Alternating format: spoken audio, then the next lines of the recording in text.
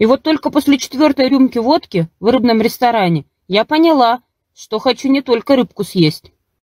Но они сейчас не пьют. Нет, ты что, они приходят пожрать? Ну, пить нет. Вдруг что-то захочется. Нет, нет, нет. Олень, он должен заслужить, выслужить. Выголодка должна пройти у него, чтобы он больше вкладывал. А она в этот момент с каким-нибудь там, да, для этого предназначенным, как говорится, кобель для удовольствия, а олень для продовольствия. Вот так вот. Берегите себя и будьте счастливы.